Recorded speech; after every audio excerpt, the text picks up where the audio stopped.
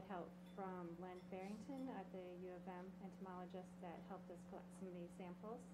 And so um, Raya's going to talk about the results and how they compare to some data that we collected in 2003 and also some work that was collected by the DNR in some of the same sites. So um, I'll let Raya come and introduce herself and have a talk about what we did. All right, thank you.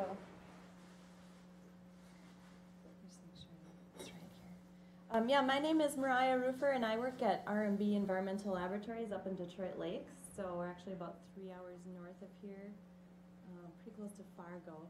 Um, and we're an environmental lab that does water testing, um, zebra mussel, veliger identification, macrovertebrate identification. So we've been working with um, Yvette and Kelly for a few years. And we just did this study was last summer. So I'm going to start out by giving you a little background about what this monitoring is looking for and then um, go into the results and there'll be some time for questions afterwards too.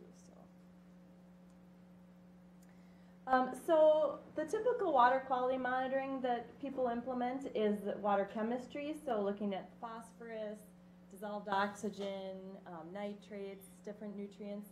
But that is really just a snapshot of what's going on at that time, at that day. Um, and so you need to get a lot of data points and then average them over the summer to get a good idea. And this, this does give a good idea. Um, but the difference with aquatic invertebrates is that it's more, you could think of it as a video, it's more of a long-term look at the water body. Um, in this case, it's streams. Um, and these animals are adapted to live there, so they need the right habitat requirements. So it's also more of a look at the habitat quality and the water quality together.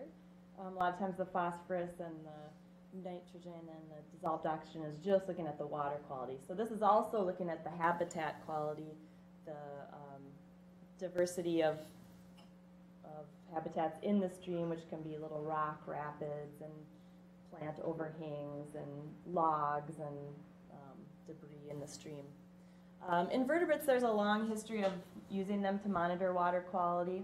I'm going to explain a little bit about why. Um, and we use what's called an indicator concept for this. So organisms reflect the environment that they live in, and they're used to understand the response of that environment to changes. Um, and they can give an early warning to changes in the environment. Sedimentation can also be a big thing that they can um, detect.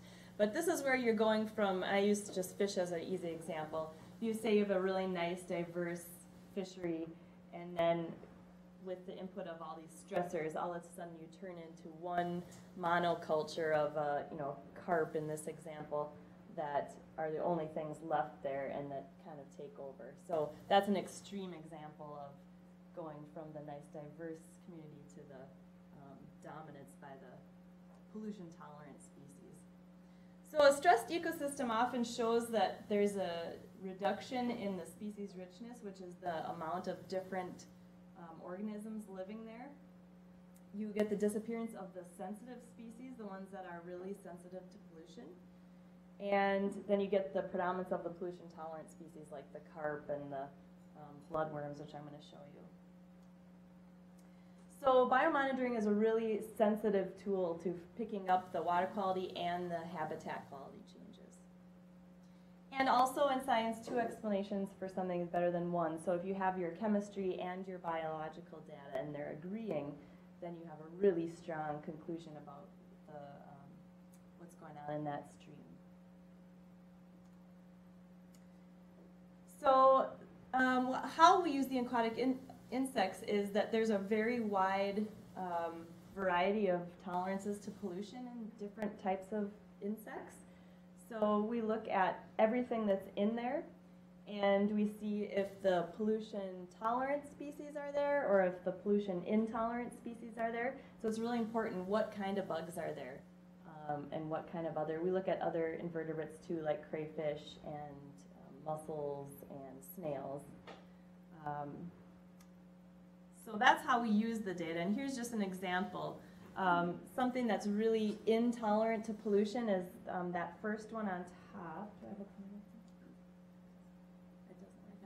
Um, the, the stonefly is the top left picture for you, and they need really clean, cold water with really high oxygen. Um, we did find stoneflies at one of the sites that was um, towards the headwaters of uh, Minnehaha Creek. I think it was like site 26, so fairly close up by Minnetonka.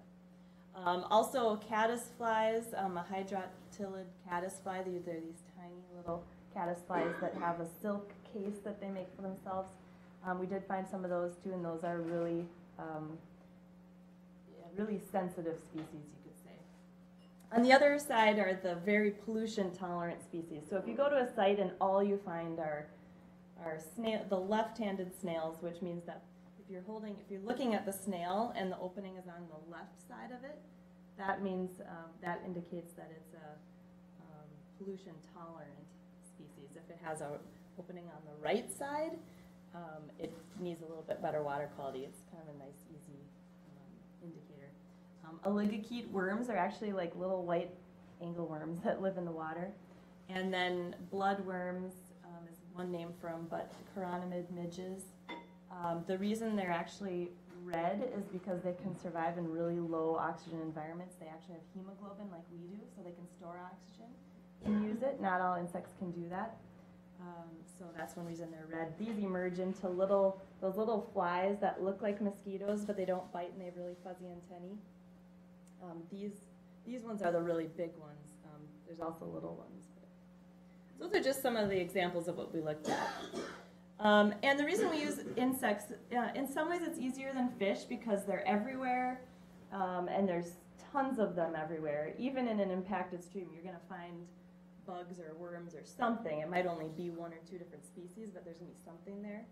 Um, but they're a major part of the bottom of the food web. So they're food for pretty much everything else that lives in the lake or the stream. So on to this actual study. Um, they did a study in 2003, and so we did it again in 2013, so it was nice. It was like a 10-year gap between the last study. Um, this study went a little further than the last one. Um, we, in 2003, the insects were identified to the family level. Um, this time we identified them to the genus level, so that's a little bit more specific. Um, and even species level and things like leeches and snails um, that are easier to get to the species. So what we did was compare it to the 2003 results, um, just family-wise, and then we calculated some new metrics um, that I'll explain what those are. Um, the Pollution Control Agency was really helpful in um, letting us use their Index of Biological Integrity Database calculator. Joel Chirhart um, at the PCA, I sent him all the data. Um, they have this really nice IBI calculator that they've developed for the whole state. And I think I keep bugging him about it, but it's, someday it's going to be available for us to just use on our own. But right now, you got to go through him. Uh, but it was really helpful, and so he fed it through that for us. And um, the PCA has kind of brand new this year what's called tiered aquatic life uses thresholds. And I'm going to show you what that looks like. But um, it's basically how do you interpret the IBI. Um, and so those two things that the PCA helped us with were very, very valuable, I think, for interpreting the results. So just to show you the sites um, on Minnehaha Creek, there are quite a bit of sites. There were, um, well, there's 30 sites in name, but not every site was tested. I think most of them were. I think there were about 26 sites that were sampled. Um, the red sites are sites that the PCA has sampled in the past, so there was some data there from them as well. And then we also did the upper watershed streams, so Painters Creek, Classen Creek, Long Lake Creek, Gleason Creek, Six Mile Creek, and then one site on Schutz Lake Creek. So a little bit more about an index of biological integrity. What it is is a scale of 0 to 100, um, and, and it takes into account all the different bugs that are found there, and then it gives an overall score for that site. So a score of you know 100 would be a perfect, pristine stream with all these sensitive species in it. and a zero would be, you know, some mucky, stagnant um, stream that has nothing in it. so, um, then the tiered aquatic life uses um, is something that um, developed a threshold of what what IBI do you want to see for these different uses for the stream. So exceptional use is um, more in the pristine levels of um, streams. Really, none of the metro area streams are going to be even close to that exceptional use. Um, general use is kind of that that basic um, use, but still still pretty good for metro area. Um, modified use is streams that have been heavily urbanized or channelized, which um, probably applies to most of the ones here um, in this study. And I'll show you, some of them did meet this, some of the streams did not even meet the modified use. So,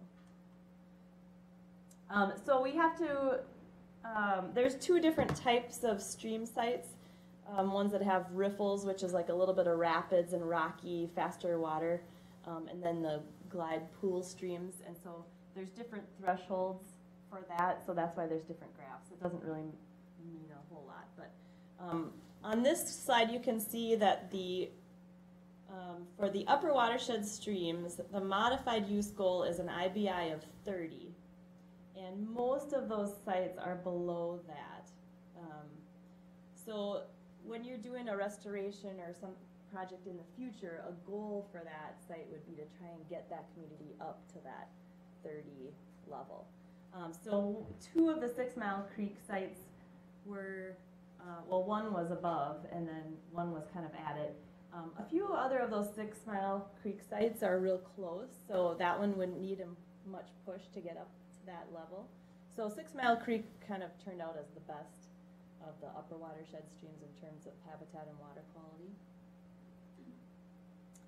Um, and then here's the rest of the upper watershed streams, just the ones that had riffles in the pools. So actually a couple more of those Six Mile Creek sites were right at that modified use goal. So those were pretty good for the area. Um, Schutz Creek was pretty good too. Um, I'll show you, Long Lake was a little bit lower, um, although the first site of the Long Lake Creek is actually like a stagnant backwaters of Minnetonka, so it's not real applicable, I think, to the, to the IBIs. but. So for Minnehaha Creek, it was interesting, I, I plotted all the IBIs from the headwaters to the Mississippi River to see what the stream looks like that way.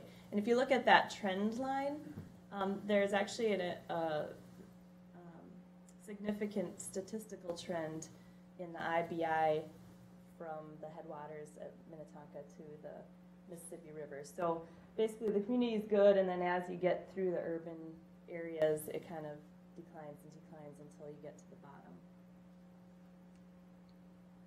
Um, so the way these show on the modified use, um, again, the upper watershed s- streams, or the um, upstream part of Minnehaha, um, is very close to that modified use. Some of the sites are above that. Um, some of the sites, like one and four, were really low. Um, and then here's just the ones with the pool, the glide pools that have a little bit different goal. But um, some of those sites, 25, 28, and 30, those first three sites there are pretty close to the Minnetonka end, and those had really good communities. They scored really high on here. And those were where we saw the stoneflies and um, those more sensitive species too.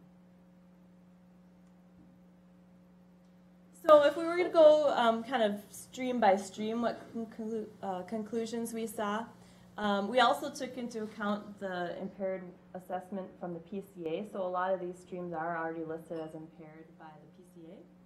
Um, so Painter Creek is already listed as impaired for dissolved oxygen and E. coli.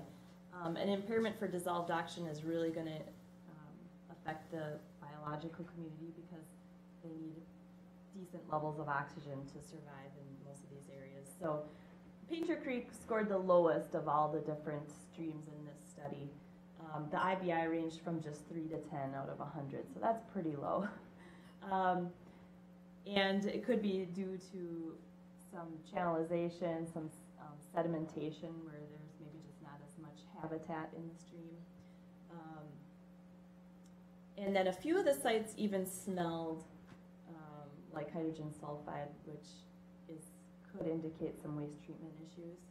Um, it was helpful to have Len Ferrington be doing the field work because he could notice some of these things that other people might not because he's been doing this for so long. Um, he actually noticed sewage fungus growths on the um, downed woody debris on site 8B, which is kind of up towards the um, top part of Painter Creek. So um, this one scored the lowest, and we recommended to test. The, um, the southern reach of Painter Creek is, is listed as impaired for E. coli, but I don't think the northern part is. So um, I think it just probably needed some data, so we just recommended that they do some E. coli testing to see if there are some issues there. It could have just been a, it, it's hard with um, waste treatment because it could have been a one-time thing that spilled or overflowed or something, and then maybe it's better now. So um, it's just something to look. Gleason Creek um, was a pretty low gradient stream that running through wetlands. So um, as far as habitat, it's not going to be as varied with, um, you know, the perfect site would have rocks, um, rubble, and downed trees and overhanging vegetation, um, trees so that there's shade. Um, so some of these sites that have been just modified or going through urban areas just aren't going to have that type of habitat. So Gleason Creek, you know, wasn't as bad as Painter Creek, but still scored pretty low. There were just two sites on there. Um, Clausen Creek had a little more complex habitat. It had a little bit faster flow, so you get a little bit more diversity in insects found there. Um, they had some of those taxa that were intolerant to pollution. They had um, some mayflies that were um, can be used as clean water indicators. So we're getting a little better on this one. Uh, but I did talk to Yvette, and she said that the stream runs dry sometimes. So um, it it's possible that the reason the IBIs were low is because it's not a perennial running stream, and so when it runs dry, you're going to lose those bugs, a lot of them too. So it might just not be as applicable to the IBIs that the PCA developed because it's a different type of a stream. Um, so it's probably better than it is scoring with the IBI. Um, Long Lake Creek is impaired for dissolved oxygen, and um, it's also impaired for the macrovertebrate and fish communities by the PCA. Um, I think they weren't doing exactly the same sites. Um, a couple things to note, like I said, site one was the stagnant backwater of Minnetonka, so it's probably, it scored really low, but again, it's probably not applicable to the um, PCA's IBIs. Um, but the other sites, sites five and five A had freshwater sponges, which can be a um, indicator of some good water quality there. So um, this one was kind of up and down depending on which site you were at. Um, Six Mile Creek scored the best of the upper watershed streams, um, and the PCA lists it as fully supporting for recreation. Um, and it, a lot of the sites showed good diversity and, um, as I say, POET diversity, which is Plecoptera, which is the stoneflies I talked about that have the good um, water quality indicator status. Um, dragonflies and damselflies. Um, the E stands for the mayflies, so there's some mayflies there, and then the T is for the caddisflies, um, which we found there too. So, um, and I, like I showed you on those graphs, a lot of the sites in Six Mile Creek met. Um, a few of them met that general use goal, and a, a lot of them met that modified use goal. So they're right up there with where you want them to be. Um, a couple of the sites, um, 11A and 6, were just below that modified use goal, so that's a real good target to try and get up to that. So Six Mile Creek is in pretty good shape. Um, Schutz Creek, it scored really well. It had the highest diversity of all the sites in the whole study. They had the most different kind of bugs at this site. Um, 45 different types of species and, and genera at this site, so that's really good. Um, and the PCA does list this stream as fully supporting for aquatic life. Um, and it had a forested habitat, so it, it has a nice habitat at this site. Minnehaha Creek is um, listed as impaired for macroinvertebrates, fish, dissolved oxygen, chloride, and bacteria. Um, it's also listed as non-supporting for aquatic- aquatic life and aquatic recreation by the PCA. Um, the fair, like I said, the headwaters had a pretty good um, aquatic insect community. Um, first five of six sites met that modified use goal, so up there it's looking pretty good. Um, like I said, site 26 had stoneflies, um, which are the good water quality indicators. I think that's a nice forested site, like 26. Um, downstream, it becomes more urbanized, and the bi- biological community reflects that. Um, we did, um, I, I forgot what sites, I could look it up, but we did find zebra mussels at a couple of the Minnetonka which isn't a surprise, I know, but um, they are a macroinvertebrate. Um, but and then, like I showed you, there is a significant declining trend in IBI from the headwaters to the Mississippi River. Sites one and four had the lowest taxon richness of all the different sites, which meant that that's the least amount of diversity in the different bugs we found at those sites. But um, they're closest to the Mississippi River. So overall, um, a lot of the streams are heavily impacted by urbanization, um, stream channelization, and this is expected for this area. Um, not a surprise to anyone in here, I'm sure. Um, Six Mile Creek showed the best biological commu- community overall for the streams.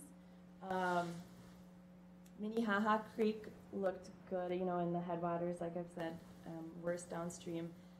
Um, the 2013 data were very com- comparable to the 2003 data, pretty much the same conclusions between the two studies. So that means over the past 10 years, those these streams and sites haven't changed a lot. Probably they're probably about the same condition that they were about 10 years ago.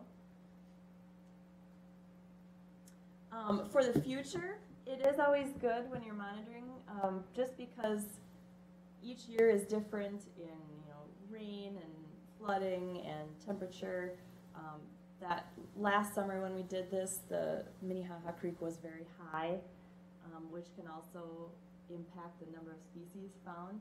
So it is really helpful to have more robust conclusions, to have a second year of data um, for these studies, just to um, get better agreement.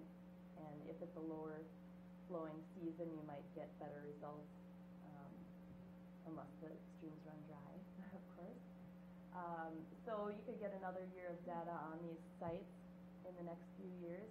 Um, you could monitor the upper watershed streams at a different time than the Minnetonka streams. It wouldn't have to be the same year, but you want to monitor each stream, um, the stream itself in the same year. You don't want to take, you know, site Six Mile Creek site one one year and Six Mile Creek site two the other year, because then you'll have factors going on. So.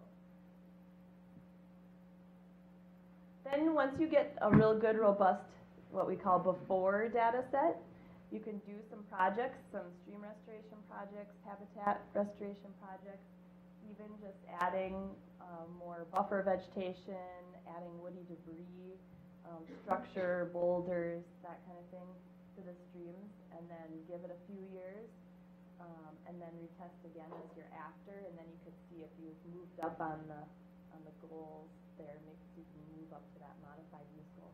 Sometimes it doesn't take a whole lot. I mean, you the um, extreme version of restoration is you know re-channelizing and wi- making more winding, but even just getting more structure into the stream and more diversity of habitat in there, and then buffer can really help. Oh, these are just the, um, in case anyone's interested in the comparison between the 2003 and the 2013 data. But um, are there any questions? It's a lot to take in. any surprises from anybody?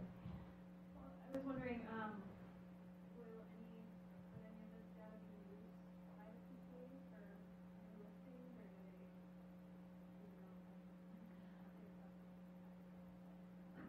Yeah, um, I think uh, I have been in contact with them because they did look at it and ran the IBIs for it.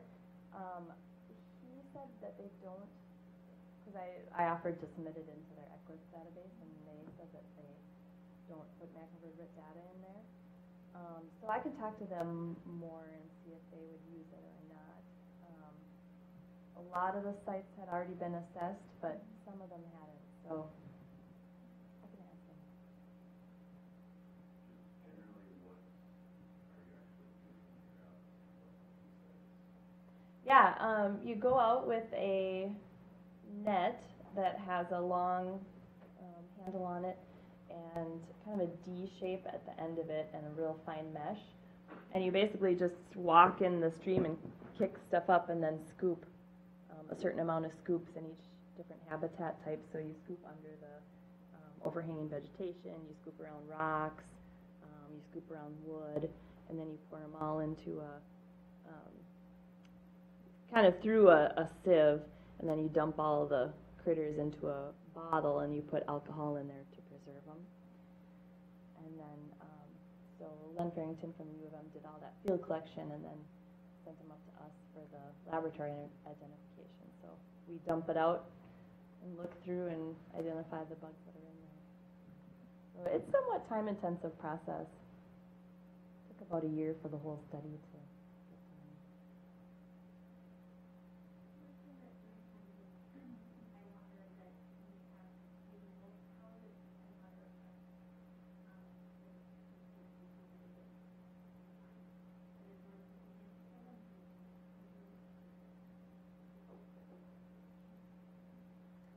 Um, yeah, it can have a few different kinds of effects. Um, you know, it can cause, if it's a place where the stream banks aren't real firm, it could cause more erosion, and then that sedimentation could um, cause those sensitive insects to not be there.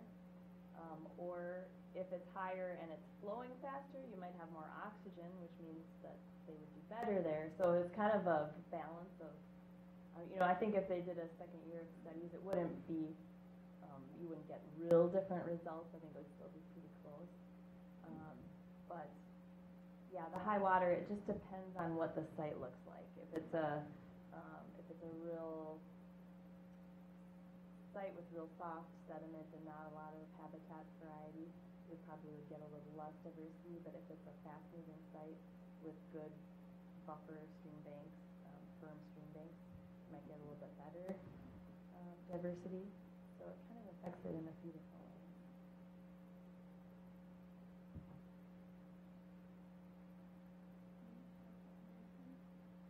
Yeah, between the other years.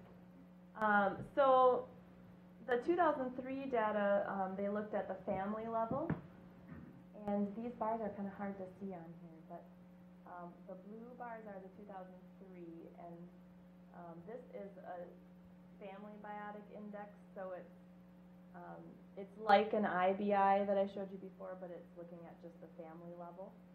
Um, so the green data is the, I'm sorry, the green data is the 2003 and the blue data is the 2013. So as you can see, most of the years are really close.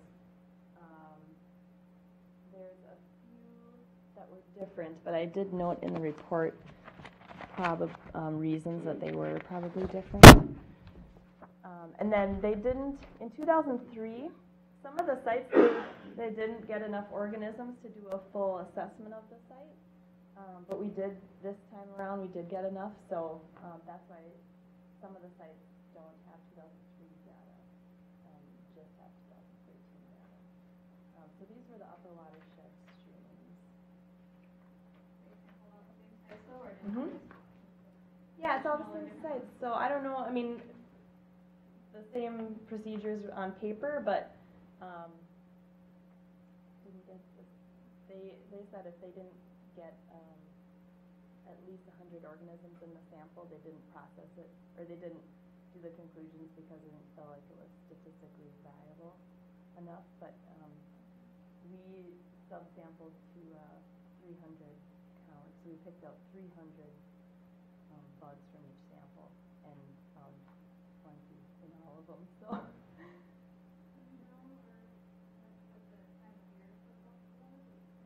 Mhm.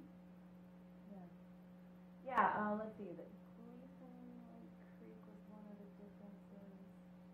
Um, in two thousand three, there weren't many specimens or taxa found in Gleason Creek. Um, but it was probably that, the, in the FBI in that year was probably artificially low just because they didn't find a lot of bugs there. Um, so the results from this time around are probably more applicable. Um, and in Clawson Creek, there's, um, one of the sites there. Baetid mayflies were found both in two thousand three, two thousand thirteen.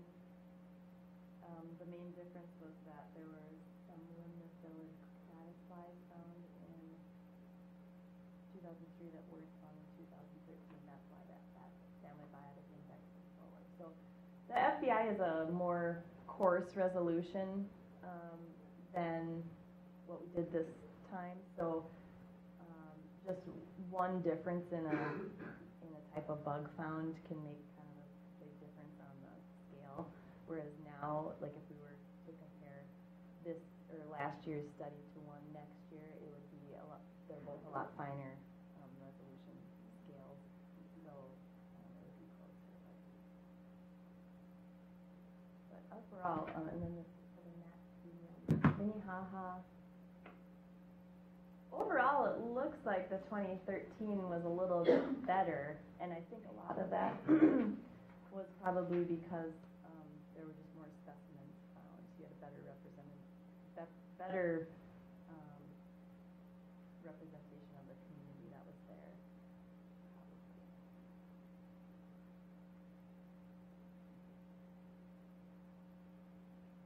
Yeah, again, the, the two sites that differed by more than one point seven points were sites thirteen and thirty.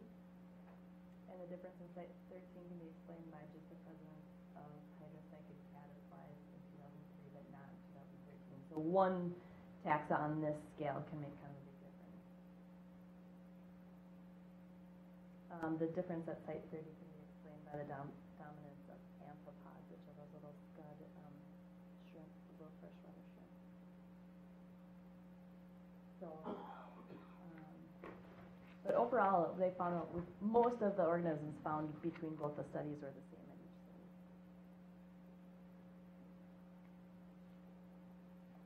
Any other questions?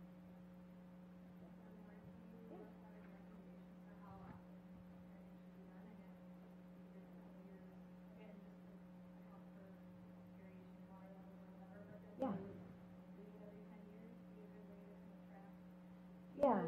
It's not something you'd need to do every year like your chemical testing, um, but to get, you know, probably two years of data every ten years would be a good rule of thumb. And then if you were to do some restoration projects, you wanna give it a couple years for the community to establish and then retest. So, yeah, probably doing each site twice in a ten-year period would be a good rule of thumb.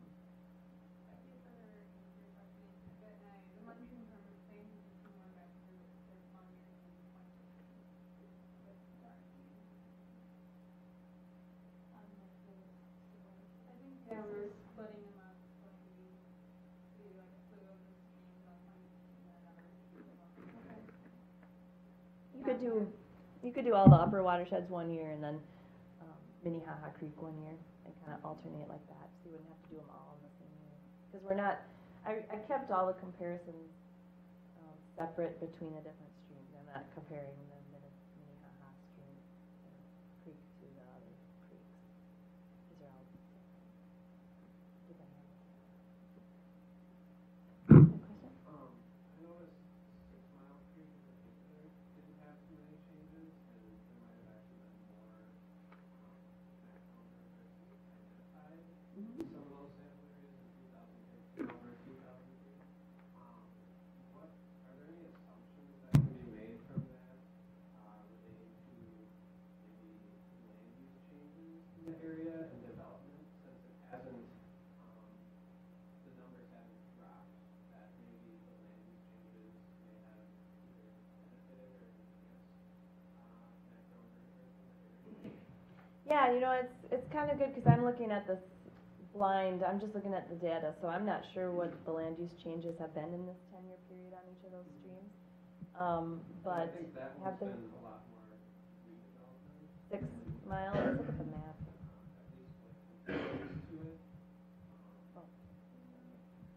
Um, six mile, yeah, so, I mean, from what the data is saying, um, whatever changed there didn't impact the biological community that much. Yeah. That's one good thing of me being blind too. It's nice to have a separate person doing the field work than that's doing the lab work. Because, um, I mean, there's no way to bias it because you identify what you see, but, um, uh, we talk then at the end to interpret the results, but it's nice to have someone separate doing the, the field work. And then, um, you, and then even another, third party, which would be you guys, that, that knows the land use changes. I got a question. I was wondering if you looked at any of the individual metrics at all to try to figure out if there's a trend of what metrics are missing and what that might point to in terms of lost features, you know, the way debris leads to certain, you know, trichopter, quickhopter, whatever, like, these Yeah. things. I don't know if you, have you dissected it at all to look at some of the individual metrics and see if there's any trends there? Um, a little bit, um, we didn't do that, that could be done though, um, because there are some species that are adapted to just eat wood and to just live in sponges and, um, we, there were some of those, um, those organisms found in, in those sites. So, um, there could be a finer scale look at those specific factors for So sure. did you do the physical features along with each of the sites? Do you have, do you do like weight debris counts and buffers and? Yeah, I actually have the site notes here, and I think I sent those to you guys, right? Um, so these were done by Len Ferrington, but he marked on here, um, the setting, the stream width, the maximum depth sample, the type of the bottom, substrate compaction. He said yes or no if there's mud there, sand there, gravel, cobble, uh, boulder, submerged vegetation. Velocity, he kind of gave a general slow, moderate, if there are ripples present or not, pools present or not, um, woody substrates, he had kind of a yes or no. Um, rooted vegetation, undercut banks. Um, then he described the riparian setting, so if there were trees, understory, that sort of thing. Um, so yeah, we have some pretty good notes, um, some notes like see, one of those Painter Creek sites, you noted that there were carp congregating there. But didn't do the habitat protocol associated with it? Oh, um, not on this that I have Okay. here. This, and then you noted if there were sponges. Yeah, we could do that next time. Yes, sure. that might be something to consider. Yeah. Next time you're out there, just wanna. I'm, I'm curious, I suspect there's some trends and specific metrics that don't come out of the overall. Mhm, That could be some specific, um, stressors mhm, that are in there that might fit into the overall, the water. yeah. It could, uh, that could be looked at still. Mhm. Um, I don't have the actual, if you wanted to compare it to the two thousand three, I, you know, we had the results reports, I don't know if we have the raw data Oh, you know what, maybe I do. I'd have to look at. The actual, each, each organism found. That might get some land use changes too, to Mhm. really know, is the stream demonstrating any effects, measurable effects more than use change? Because my understanding, a lot of times there's break points, so you can have land use change up to a certain point, the biology will respond over time, and eventually you'll hit a, a break point, and that's when you'll see a change. Mm-hmm. So there might have been smaller changes that have occurred in Creek, but we hadn't hit the break point. Yep, We don't want to hit the break point, so, yeah, that's a really good point. yeah. Yeah. Yep, And small changes in hydrology until you get to a point where it really affects one of the metrics. Looking at the feeding groups is, is helpful too, so, um, you know, each organism, we know what they eat, and the so-called shredders that eat the large leaf stuff, those are usually found where there's, you know, a lot of variety in the habitat and leaves falling in from the trees and everything, whereas the, you kind of know which ones are just in the spots that have heavy sedimentation and just are filter feeders, so, um, yeah, each individual metric can give different results. We do a lot with the data.